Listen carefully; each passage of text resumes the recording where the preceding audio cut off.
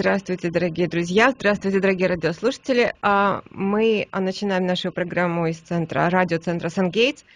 В эфире у нас а, передача о гармонизации планет. А, со мной на связи Анна Ласточкина, астролог, ведический астролог, и она сегодня с нами беседует не как всегда из Таиланда, а из Эстонии, да? Да. Здравствуйте, здравствуйте, Анна, как у вас дела? Здравствуйте, все замечательно. Недавно переместилась в пространстве, вот только недавно прилетела в Таллин, ну вот и готова поговорить. Готова к бою почти что, да. Так как у нас сегодня Марс, то мы немножко в бою. Есть такое ощущение или нет? Ой, у меня есть такое да. ощущение, очень много дел уже сегодня переделала. Вот у нас уже концу дня идет 16.30. Не так, конечно, как в Таиланде. Теперь буду пораньше выходить в эфир. Ага. Что хорошо, голова еще более-менее свежая, но все равно настроение такое, что уже многое позади сделано сегодня. Угу.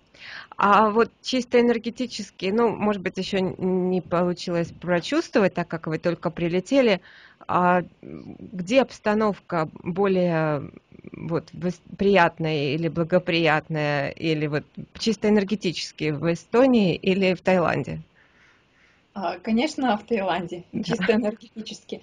Но это еще зависит от того, а, какой человек, что ему подходит. Mm-hmm. И в Таиланде очень сильна Венера, и там есть еще такой дух свободы, расслабленности. Там планеты сильные Венера и Юпитер, и два таких благодетеля. И, конечно, обстановка такая.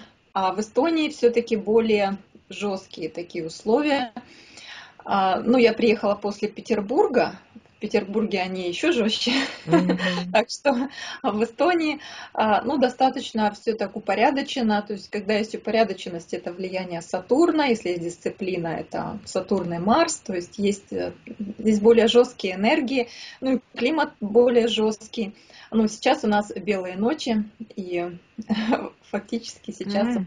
да, нет, даже не бывает темно. Да, здесь всю ночь светло. Ну, на самом деле, это, я понимаю, что это явление природы. Мы сейчас немножко отступает от, от темы, но почему-то мне вот стало интересно об этом поговорить, потому что наши перемещения, они нас, ведь очень на нас влияют. А, а это на самом деле хорошо или плохо? А, вот белые ночи, потому что вроде бы как не так, как обычно, мы ночью спим, хочется, чтобы было темно. Да, как это влияет на людей? Вот вторую ночь уже ночую, замечаю этот эффект, что когда ночью просыпаешься, просыпаешься как днем. Ага. И а, Конечно, это минус. Конечно, хорошо жить ближе к экватору, а, природней, приятней, когда а, день сменяется ночью, и это это соотношение остается примерно одинаковым на протяжении всего года. А здесь получается, что мы зимой как бы должны больше спать, а летом больше бодрствовать. Как медведи, да? Как медведи смещается. И, конечно, да, я сейчас почувствовала на себе этот эффект, что я проснулась, и мне сложно заснуть снова, потому что а, свет солнечный прямо вот ну, светит в глаза. И э, чисто биологически это, конечно, невыгодно, потому что пробуждаешься. Mm. Ну, здесь э, люди закрывают а, рулами окна, так что свет не светил, чтобы можно было провести ночь, похожую на ночь. Ясно. Очень интересно. А, а, Аня, еще такой вопрос. Если, конечно, эта информация доступна на сегодняшний момент. Вот у нас тут а, пришла, пришла такая информация, я видела, на, прислала мне одна интересная женщина, что Солнце сегодня и завтра Солнце в каком-то состоянии находится необычном, то есть то ли энергии от Солнца больше, то ли что-то еще. И, есть у вас такая информация? Если нет, то мы просто об этом поговорим. У меня нет, я только знаю такую общую тенденцию. Сейчас говорят, что Солнце что-то совсем успокоилось, угу. и нет там э, никаких э, дополнительных бурь, взрывов, и угу. вот что-то оно в таком состоянии стабильном. Но, видимо, что-то поменялось в течение этих двух дней, и оно стало более активным. Но а. те как читала другую информацию, что оно замер... активность замерла. Ясно. Ну хорошо, ладно. Ну тогда мы перейдем к той теме, которой мы, в общем-то, которой мы объявили, о которой мы хотели поговорить. Хотели мы поговорить о том, а, как нам лично, как нам, каждому человеку в отдельности, может быть, всем вместе гармонизировать наши планеты, включая возможности гармонизации планет вот исключительно питанием. Как, как у нас с этим обстоят дела? Да, но мы сначала должны определиться с тем, что такое гармонизация, потому что часто путают два а, метода. Один из них это усиление, а другой гармонизация. И когда говорят, как мне усилить, подразумевают, как мне гармонизировать или что-то наоборот. Дело в том, что для того, чтобы что-то делать, а, предпринимать какие-то действия а, относительно планет, нужно сначала узнать, в каком они состоянии в гороскопе. Если они слабые, а, то их можно и усиливать, если вообще есть а, для этого какие-нибудь причины их усиления. А, можно, ну, ослаблять невозможно планеты, если они сильные, то они сильные.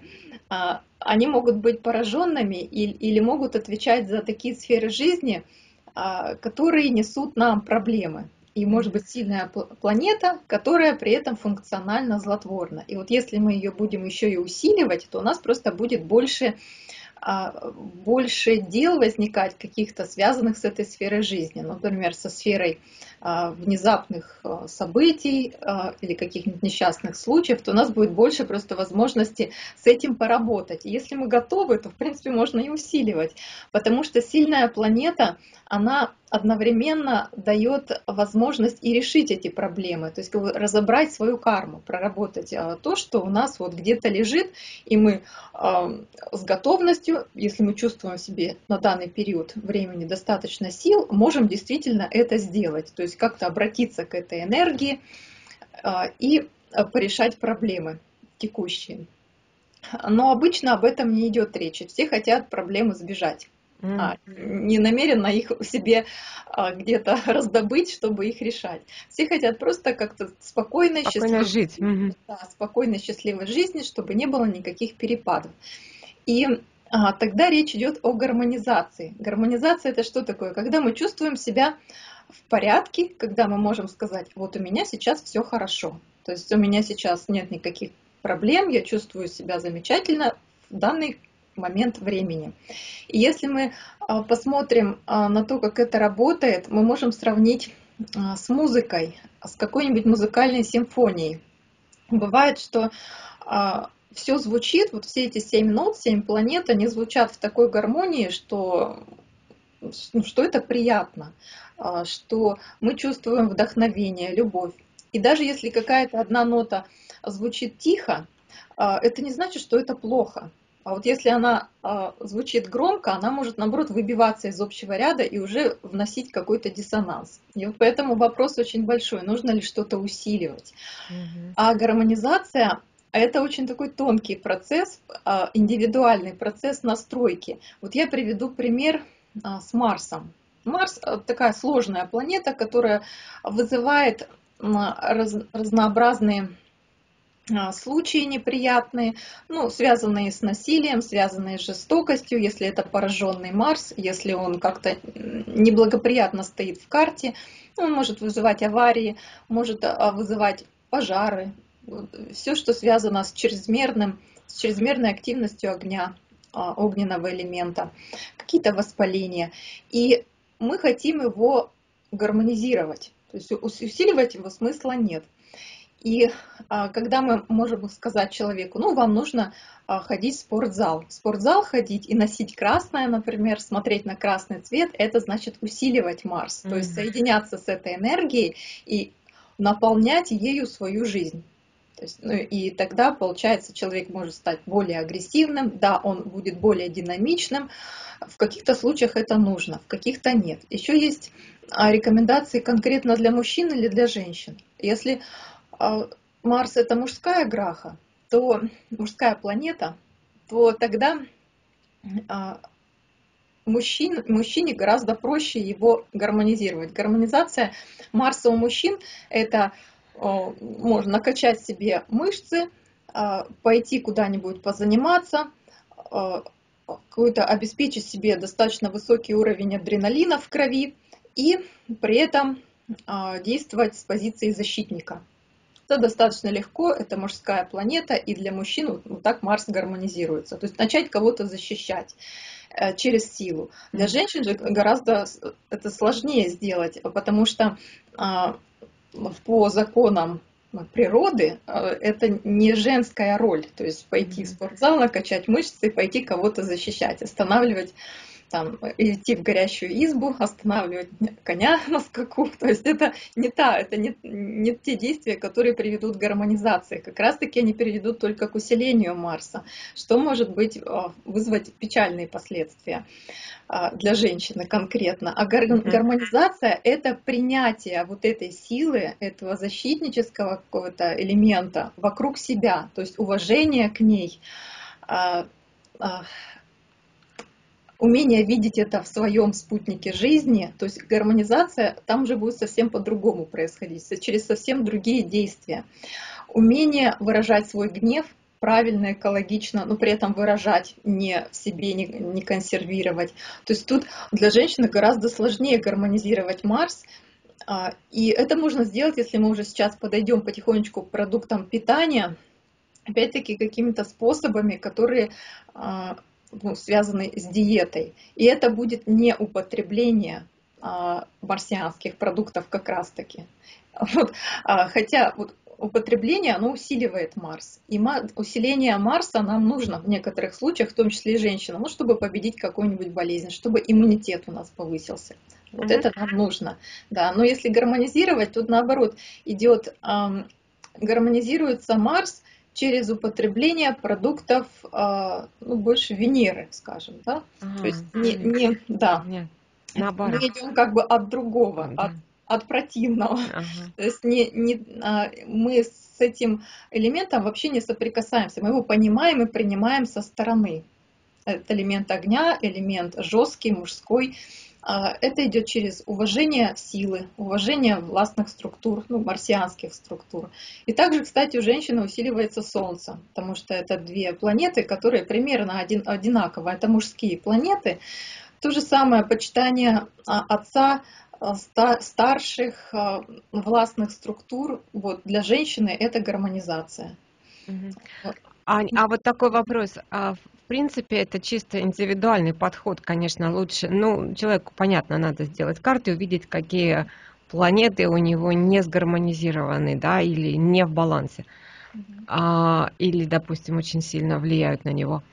А вот можем мы как-то влиять вообще на, на мир, на то, чтобы вот не происходили вот эти вот туристические акты, или вот если мы группой какую-то группу соберем. Вот я знаю, что медитации, когда происходят медитации групповые, я когда-то изучала трансцендентальную медитацию, и вот там они рассказывали о том, что в Вашингтоне просто большая группа людей медитировала, и в это время была такая статистика, что в это время намного уменьшились уголовные преступления, и вообще стало спокойнее в городе.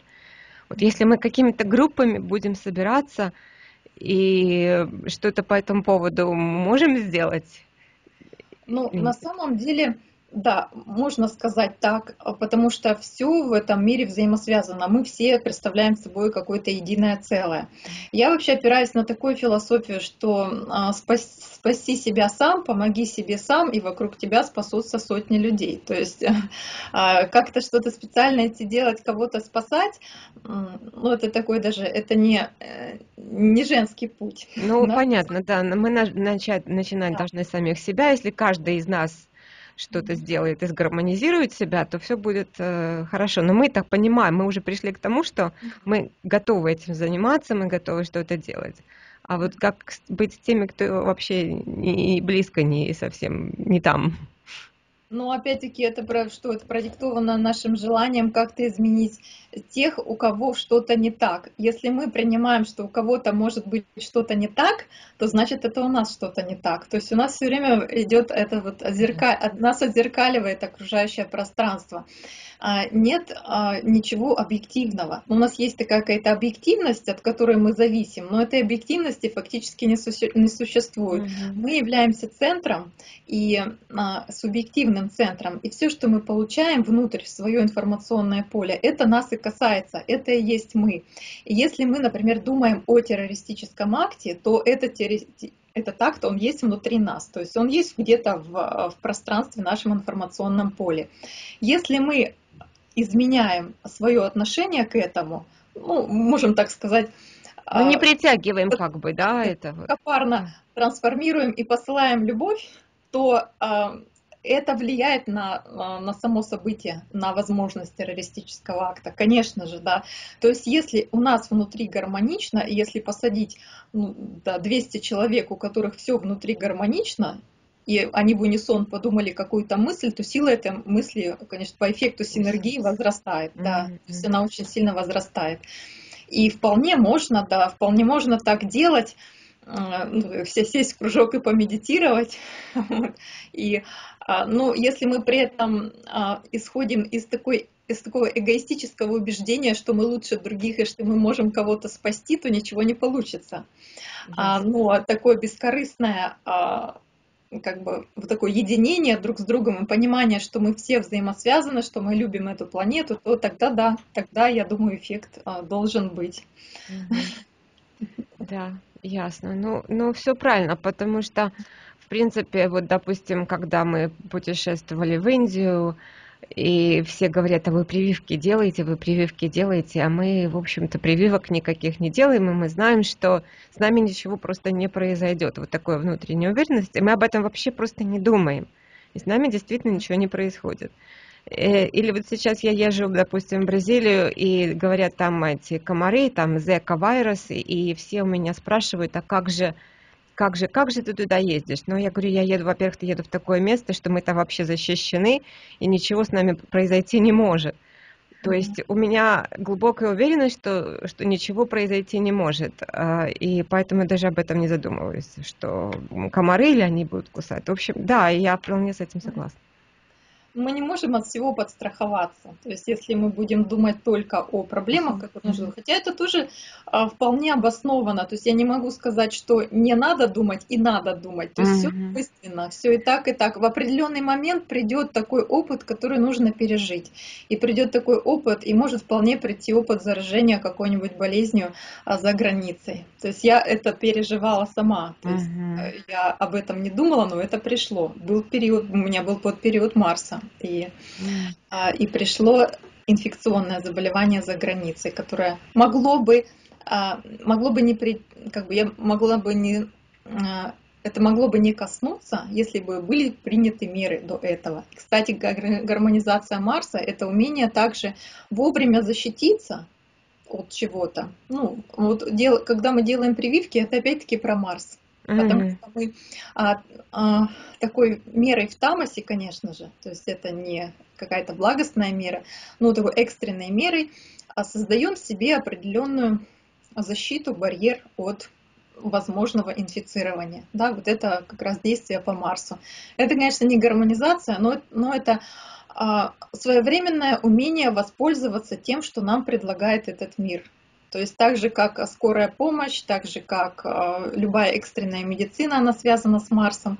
И мы, конечно, от нее не откажемся, если нам нужна будет такая помощь. То есть вот гармонизация, умение принять эту энергию, э, умение сказать, да, это действительно есть в этом мире, и э, когда мне нужно будет, у меня как будто бы включится что-то, и я это сделаю. Вот, То я... есть, в принципе, идеально иметь личного астролога, а, знать точно свою астрологическую карту и использоваться вот, вот этими советами правильно. Не, как некоторые говорят, что астрология это тебе что-то скажет, и ты будешь об этом думать, и ты вот это вот притянешь. А, ну, а, это идеально, да? Кто, кто предупрежден, тот вооружен, но на самом деле я скажу даже про себя, что а, даже если я проживаю период Марса, под период, я Марса не проживала период, я все равно не могла себя оградить от того, что со мной произошло. То есть, я, я все равно проживала а, ту карму, которую мне стоило пережить, и это были вещи, связанные с жестокостью, это были вещи, связанные с инфицированием и а, с какими-то ну, очень неприятными для меня последствиями. И даже будучи астрологом, видя свою карту и зная, что этот период идет, я ничего не могу сделать. Ну, может быть, можно облегчить немножко. Утешить, утешить тем, что я это проживала сознательно. Mm. Вот, то, что я созна... И я понимаю, что это кончится, что это достаточно короткий промежуток жизни. Mm-hmm. И что это кончилось, и потом, конечно, наступил Раху, что тоже а, было очень трансформирующее в жизни, и что это закончилось, и какие выводы я должна из этого сделать. То есть, когда мы знаем астрологию, когда мы можем с кем-то посоветоваться, с астрологом, тут больше идет э, вопрос стоит не о том, чтобы это все не предотвратить, предотвратить что-то страшное, ужасное, что мы можем предвидеть в карте, угу. а то, что мы будем то же самое, те же энергии проживать более осознанно. И спокойно. Да, да. да. Угу. и более спокойно. А, а если мы это проживаем спокойно и осознанно, то мы не делаем эту бурю в стакане, и, соответственно, с нами не случается большего чего-то. Вот. Угу. Ясно. Мы готовы, да. Да. Мы готовы в общем, принять, да, что есть такая энергия Марса, нужно ее пережить. Он не гармоничен в карте. А, значит, в какой-то сфере жизни произойдет трансформация, к которой он относится. И она происходит. И ну, и это жизнь, и надо научиться в этом, в этом потоке получать счастье и удовольствие. Ясно, ясно. Ну, в общем, от всего получать удовольствие. Я почему-то вот сегодня именно, не знаю, почему-то я задумалась о том, что мы вот все как бы в жизни к чему-то стремимся, что-то хотим. А в принципе, человек в идеале что хочет? А, ну, разные люди по-разному, но в принципе люди хотят удовольствия и спокойствия, да, вот в, в принципе, для, ну для каждого удовольствие. Совместимо иногда бывает. Да. Потому что спокойствие – это отсутствие желаний, а желания всегда ведут к каким-то переменам. То есть желание – это отсутствие спокойствия. Ну, что, что мы хотим, показывает Раху больше всего в гороскопе. То есть это показывает голова дракона. А, наши амбиции, наши желания, и эта голова а, неминуемо влечет нас в будущее. У нас создается перспектива, что у нас есть некое будущее, какие-то планы, мечты, которые мы обязательно должны осуществить в этой жизни, и мы все время пробуем, пробуем, а то с одной стороны, то с другой подойдем к той сфере, где стоит раху человек. Вот. А с какой планетой связаны удовольствия? Это Венера или, или Венера, да? Это, это Венера. Ну и Раху тоже. Раху связан а, с, а, с таким, с получением удовольствия после совершения какого-то действия. И есть у нас в нашем мозгу такая область, называется хвостатое тело, нуклеус каудус на латыни. И оно как раз связано с, раху, с осью Раху и Кету. И оно активно, например, у игроков, а, кто играет в компьютерные игры, очень активна эта область. То есть это область, которая заставляет нас захватывать что-то, захватывать территорию получать от этого удовольствие, захватывать какой-нибудь объект и получать от этого удовольствие. Вот. И это нужное вещь, конечно же, то есть вот это разделение нашего сознания на две половинки, что у нас есть некое прошлое, некое будущее, они нас отдаляют от момента здесь и сейчас всегда. То есть мы либо всегда находимся в какой-то ретроспекции, то есть нам все время кажется, что у нас есть прошлое, что которое можно переосмыслить, можно было бы сделать бы вот так, mm-hmm. а не так. И у нас есть а, понятие, что еще что-то будет. Mm-hmm. И это на самом деле иллюзорные понятия.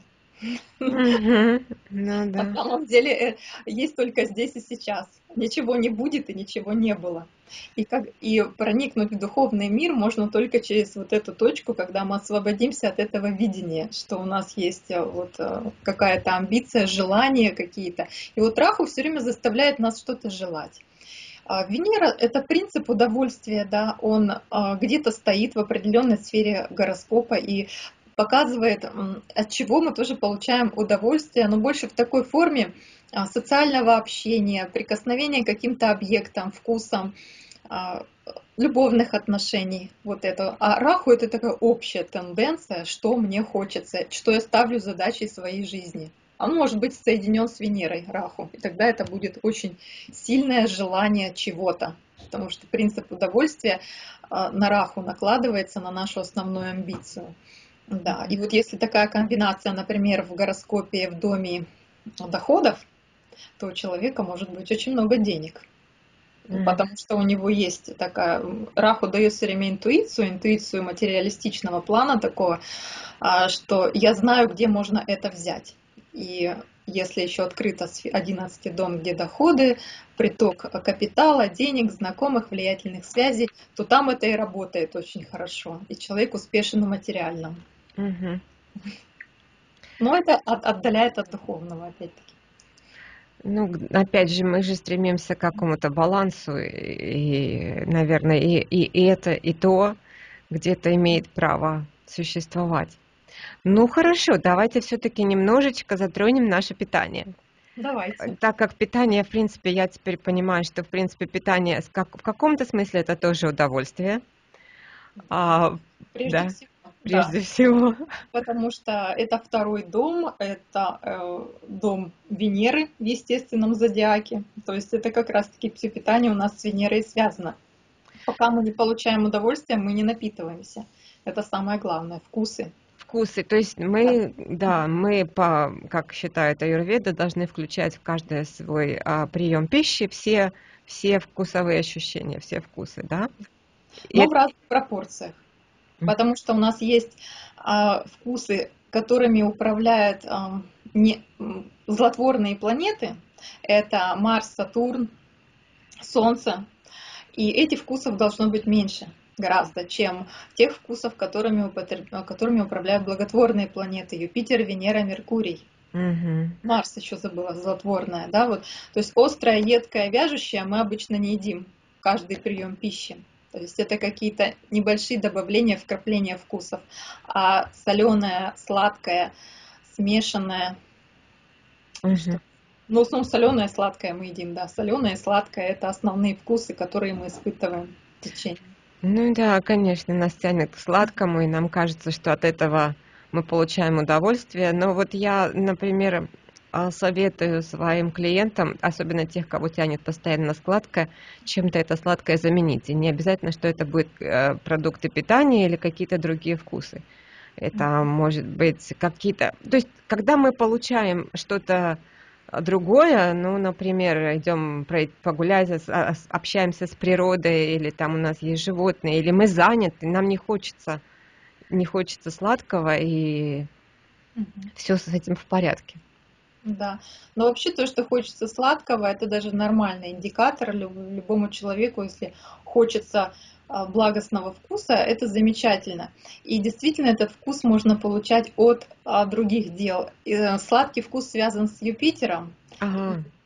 Часто э, люди тучные – это люди, которые не реализуют свой сильный Юпитер. А сильный Юпитер реализуется в общении путем преподавательской деятельности, консультирования, высказывание того, что лежит у тебя в голове, на душе, вот этой вот общению с учителями. То есть это люди в потенциале очень хорошие педагоги, у которых, допустим, ну, на, в первом доме сильный Юпитер. Если его а, не реализовывать, ну, если как-то забивались тенденции, такие говорят, нечего меня учить, там, ну, бывает, конечно, пораженный учитель, да, да, да, Юпитер, когда у человека, человек учит, ну, как-то не гармонично. То есть а, Например, у меня в семье была такая ситуация, что он, я из семьи учителей, и у меня была такая ситуация, что мне прививалось, что учительство это плохо. Это уже у меня у бабушки, дедушки учителя, что это разбитые семьи, это когда занимаешься постоянно учениками, до своих детей дела нет. И вот иногда такое вкладывается, а человек рождается сильным Юпитером, вот этим генетическим, и он не знает, и действительно не пойдешь в школу преподавать какое-то отвращение в школе, в школе и так далее. И вот э, тогда начинаешь э, в нереализованном состоянии подседать, конечно, на сладкое. Это mm. вот две, две такие Mm. Это неминуемый, опять-таки, процесс. То есть, если не, планета не реализована, она начнет тянуть к каким-то вкусам. А самое простое, чем мы себя можем удовлетворить, самое быстрое, это едой. И вот да. так да. Это да. всегда доступно, всегда доступно. Открыл холодильник или там шкаф и всегда что-то при... есть да. какие-то запасы. Ну, это правильно совершенно. Хорошо, а, какие, давайте тогда поговорим немножко вот о вкусах и планетах. Мы об этом мы немножко уже затрагивали, но ну, как бы немножко продолжим. А, а, про Марс мы поговорили, про Венеру немножко поговорили, про Юпитер, Юпитер мы затронули. Что у нас там еще есть? Да, мы про Венеру забыли сказать, какой вкус, если мы будем говорить. Да. Давайте по порядку. Давайте. Я напомню, какие вкусы соответствуют каким планетам. Да. Угу. И мы сказали, что важно использовать э, все семь вкусов, чтобы чувствовать разнообразие жизни, чтобы была вот эта гармоничная симфония, что у нас все есть. Через пищу мы получаем это, эти впечатления. А, солнце – это вкус, который называется едким, но это а, не вкус в прямом смысле этого слова. А, дело в том, что вкусы на санскрите называются раса. Раса – это как бы, характеристика той субстанции, на которую реагируют наши, наши органы чувств и не только наши рецепторы на языке. И вот а, солнечный вкус – это переживание тепла в теле, тепло, переживание тепла на языке, переживание вот этой а, ну, какой-то едкости. И этот вкус есть в корнеплодах, а, таких как имбирь, чеснок, а, редис редька. Mm-hmm. Это такой вкус, конечно, вот этими продуктами сыт не будешь, как говорится, да. Нельзя этот, э, этот, эти продукты употреблять постоянно, ну, mm-hmm. в каждой трапезе. Вот. Мы добавляем их по чуть-чуть. И этот вкус очень хорош для того, чтобы а, получить такую энергию для борьбы с чем-то, витальность, это иммунитет повышать, а, бороться с болезнетворными бактериями. Дальше у нас вкус что Солнце, Луна, Луны. Угу. Это соленое, это все вот соли, которые, все, что соленый вкус, который мы ощущаем в пище. И он в природном виде есть а, в овощах, опять-таки корнеплодах, в листовых зеленых овощах, то есть есть вот этот натрий хлор, то есть он там содержится. И соленый вкус нам нужен, это вот как такое он умиротворяющий. Если вся пища пресная, а, у нас начинается недостаток лунной энергии. А лунная энергия это такой женская, особенно для женщин, дисбаланс. Вот когда мы а, хотим а, солененькое, это нормально, особенно беременные, да. да, особенно беременные.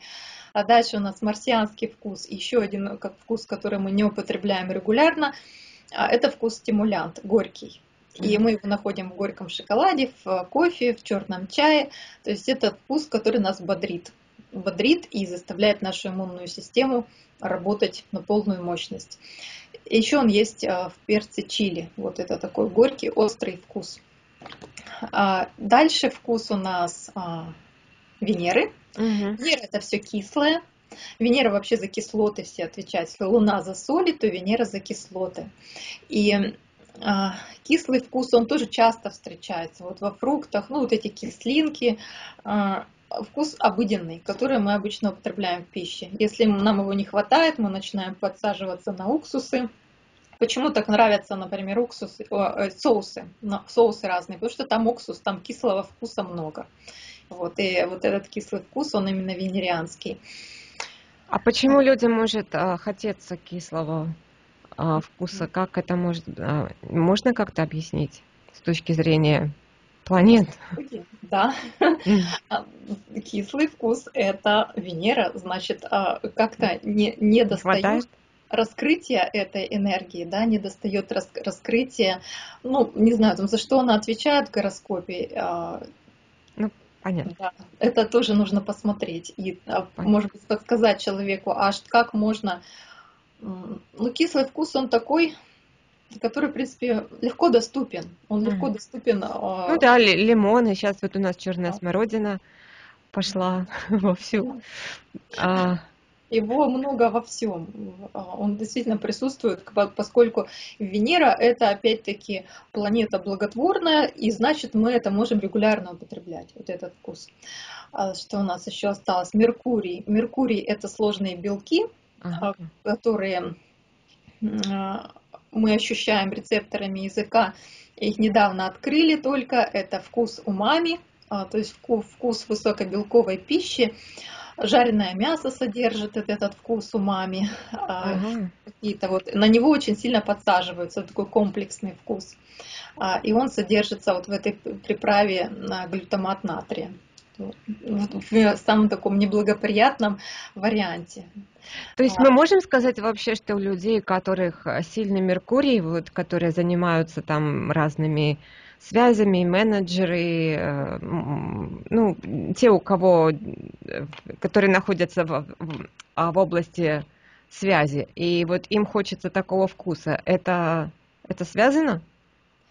А, ну, конечно, это связано, если у человека сильный Меркурий, особенно если он связан с домом питания, с домом его а, базовых каких-то ценностей, которые сформировались. Сильный Меркурий дает способность различать и компоновать, то есть способность исследовать а, разные элементы чего-либо, не обязательно питание, но если он связан еще со вторым домом, то это может быть хороший диетолог, который именно обращать внимание на то, как компоновать продукты, потому что некоторые продукты действительно в сочетании, они более а, оздоравливающе действуют на организм, более усвояемы. Ну, например, а, мы знаем, что а, каротин морковки, если мы едим морковку, то ее лучше есть с каким-нибудь жиром, ну, со сметаной. И тогда будет усваиваемость э, гораздо лучше, чем просто мы будем есть морковку. То есть возникает определенная синергия между, между некоторыми веществами, продуктами. Вот за это Меркурий ответственен тоже. Умение... И могут быть хорошие повара, да, тоже, которые да. знают, как соединить какие продукты, приготовить красивое блюдо и да. вкусное, да, понятно. Да, интересно. Если человек хорошо готовит, значит у него есть вот этот вкус, способность развлечения, значит у него сильный Меркурий. Mm-hmm. Вот. Ну, смотря с каким домом он связан. Опять-таки, вот у меня такой сильный Меркурий, хозяин второго дома, но он у меня стоит в доме а, болезней. И получается, что каждый раз, когда он у меня включается, я занимаюсь диетологией. То есть ага. диетами, разбором, что, как, да, действительно я изучаю питание. И вот ага. когда у меня шел под период а, Меркурия, у меня проект реализовался по сыроедению. Это было уже давно, 10 лет назад, ну вот тогда шел как раз под период Сатурн-Меркурий, угу. и э, у меня действительно тогда, вот я писала буквально каждый день о том, как устроен желудочно-кишечный тракт, где что переваривается, где все, все, все вот это вот развлечение, но относительно болезней, да, относительно ага. как все, оно там устроено. И, конечно, Где-то это сохранились эти записи? А, да, это, конечно, это где-то есть сыроедение ком, но я уже как-то отошла от этого. Ну, наверное, вот с помощью этих передач мне приходится возвращаться. возвращаться. Ну, из этого можно было сделать какую-то книгу или электронную книгу вообще, это было бы очень интересно. Да, но дело в том, что сейчас уже и опыта больше, и переосмысленно все, как mm-hmm. это работает. Мне раньше не хватало знаний даже, то есть я делала проект, делала, ну вот, mm-hmm. но не хватало вот, наверное, вот этих а, знаний о взаимосвязях, что дает астрология. И вот сейчас с астрологической точки зрения уже есть возможность гораздо более как бы, структурно посмотреть на все это, глубже, как устроено питание, с чем это связано, связать питание с психологией, психосоматикой и так далее. Вот. Так что лучше ориентироваться в будущее. Не на прошлое. Хорошо, договорились. Будем смотреть вперед. Ну что, мы по всем планетам прошлись или, или что? На Меркурии, который вот как раз у нас за это разнообразие, да, да. да. смешанный вкус называется да. А, так, какие планеты еще остались, Сатурн остался. Сатурн это вяжущий вкус и это переживание а, холода от еды. Это а, суживающее, сдерживающее, вяжущее эффект, который происходит от того, что мы что у нас внутри что-то сжимается. А, иногда нужен для того, чтобы успокоить свой кишечник, который слишком может, ну, когда у нас диарея, да, то есть, да, ну понос, прямо скажем нужна эта энергия Сатурна, да, что-то вяжущее нужно съесть, чтобы а, стянуть вместе. А, это энергия ограничения, стягивания и переживания холода. Это вот мы повторили, я в принципе об этом уже говорила, повторили вкусы, да, какие у нас существуют. Mm-hmm. И а, что еще можно сказать? Еще можно а, коснуться базовой составляющей питания, таких как зернобобовые. И можно соотнести каждое зернобобовое с определенной планетой.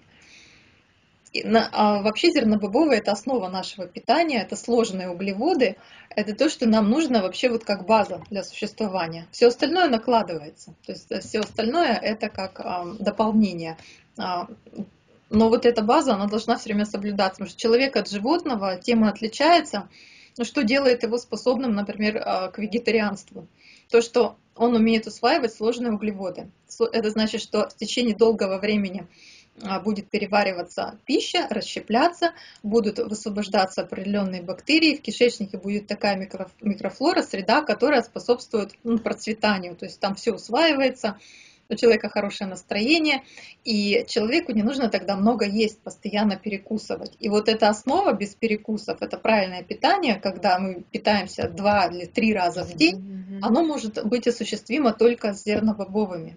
То есть, а, если мы будем питаться только фруктами, кислыми, сладкими, у нас будет просто быстрое вот это переваривание этих быстрых углеводов, и а, нам нужно будет постоянно перекусывать. Оно не дает такое долгое, это как печка, которая у нас а, есть внутри где-то, и наша пищеварительная система работает с этим материалом, с зернобобовым, очень долгое время, и долгое время дает энергию. И вот я про эту основу хотела бы поговорить и соотнести а, каждое а, вот это основное питание с планетой. Ну, я думаю, что мы об этом поговорим в следующий раз. Тема довольно обширная. У меня тут как раз а, кое-какие вопросы накопились, пока я все это слушаю, потому что сейчас э, много людей, которые, опять же, вот про глутен, может быть, мы, мы немножко затронем, потому что это сейчас настолько распространено, откуда вообще это взялось, и как это связано, может быть, с астрологией, да? Вот мы об да, этом... Есть идея об этом даже да. сейчас. Замечательно. Все, значит, мы в следующий раз а, об этом и поговорим, о, о зерновых, о зернобобовых, о планетах. И очень... И вот меня, меня вопрос интересует с глутеном, как тут, как тут быть. Вот, спасибо большое, Аня, спасибо большое всем, кто нас слушал. А, записи будут выложены на YouTube и на странице а, Sunlight Radio на Фейсбуке. А, вот, поэтому мы встречаемся в следующий вторник в то же время. Спасибо, Аня, отдыхайте, у вас был переезд. Да, спасибо большое. Да, и всего хорошего. Всего хорошего. До свидания. До свидания.